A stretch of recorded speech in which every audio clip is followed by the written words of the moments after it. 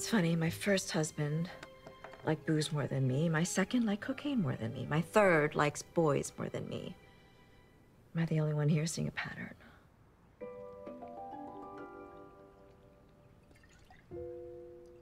Maybe you just haven't met the right man yet. I've always thought of myself as this fabulous woman. But how fabulous can I be if nobody wants to love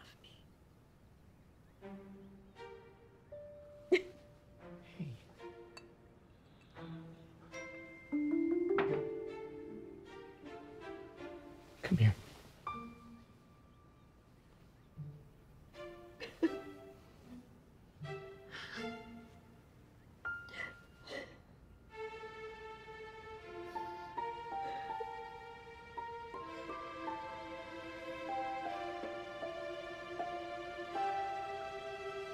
Tommy,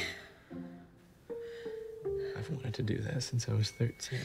how old are you now? I'm 18. In two days. As much as it would cheer me up to commit a felony, I think you should go. Just remember,